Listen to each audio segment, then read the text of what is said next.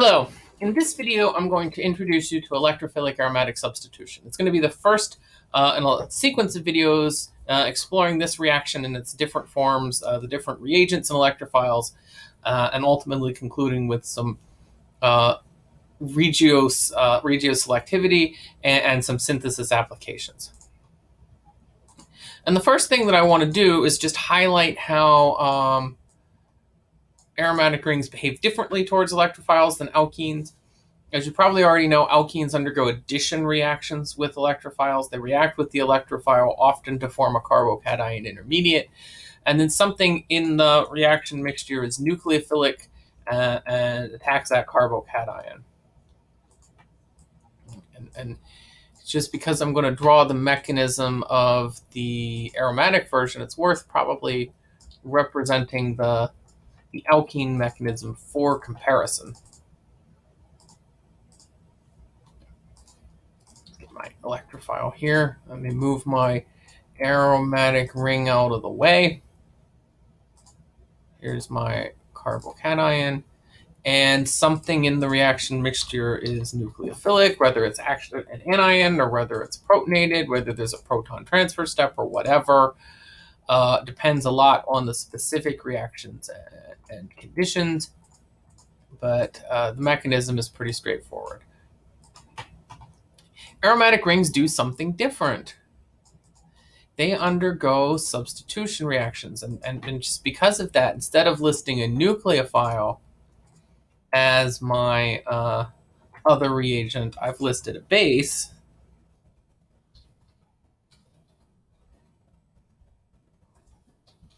And instead of having a, an additional covalent bond made, the base makes off with, with one of our hydrogens. And the trick here is, uh, or at least you know, the trick here is, is aromaticity is an important part of why this mechanism is different. It starts off, honestly, in the same place that the aromatic ring reacts with an electrophile and in this case, like I didn't feel it was necessary in the alkene case, but I feel that it's necessary here. In this case, I'm showing the hydrogen atom at that position. I'm putting the carbocation at the other position. Just like in the alkene case, there are two carbon atoms in the pi bond. One of them gets the electrophile, the other one gets the cation. This carbocation is resonance stabilized, so it has some additional resonance structures, and I'm going to draw them. Um, I'm not going to fill in all of the arrows here, but I am going to draw the other resonance structures. Just give me a, a quick moment to move some bonds around. So, number one difference between uh, alkenes and aromatic rings the aromatic ring's uh, intermediate is resonance stabilized.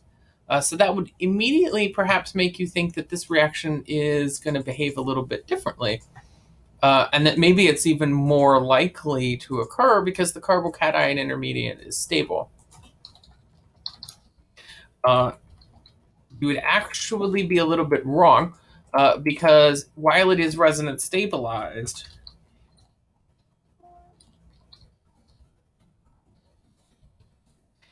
Uh, it is also, I don't know, where did that underline come from? Hold on. Let's see. While it is resonance stabilized, it's no longer aromatic. So the aromaticity of the system has been lost. And that's the important difference between the outcomes for aromatic rings and alkenes. Yeah. This while this carbocation intermediate might be resonance stabilized, it actually represents a higher energy investment to get here because of the loss of aromaticity. And because the return of aromaticity is going to be um, a significant driving force. Uh, you know what? Let's just take out the word base. Uh, it changes the behavior of this carbocation intermediate instead of uh, undergoing nucleophilic attack to do an addition product, we get uh, a substitution product, the base that is present, and the base doesn't even have to be anything all that particularly basic. And when I talk about uh, the specific reactions, you'll see some of the, the weird things that are that are basic enough here. Uh, essentially, this carbocation is, amongst the strongest of strong acids, uh, such that things like chloride anion is, is basic enough to deprotonate it. Um, and you get, you know, the substitution. So we reform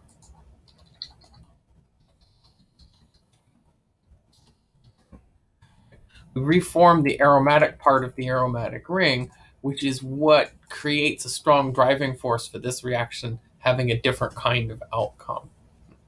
Really want to make it clear though that there's that this arrangement hydrogen and electrophile on the same carbon, carbocation neighboring carbon.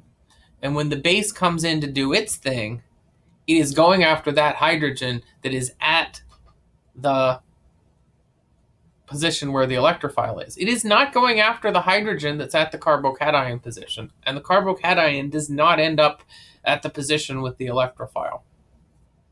Those two things are common mistakes that uh, I sometimes see students do when they're drawing this mechanism and, and its variations.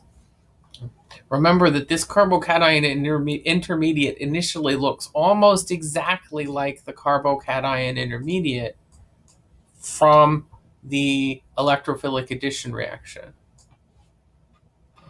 So keep that in mind when you're thinking about drawing uh, this mechanism. In the next vid several videos, I'm going to introduce you to five common types of electrophilic aromatic substitutions. There are more of them out there, but these five are amongst the most common, and the other ones out there are either specialized cases or, or variations on, on this particular theme. Uh, and so stay tuned, and thanks for watching.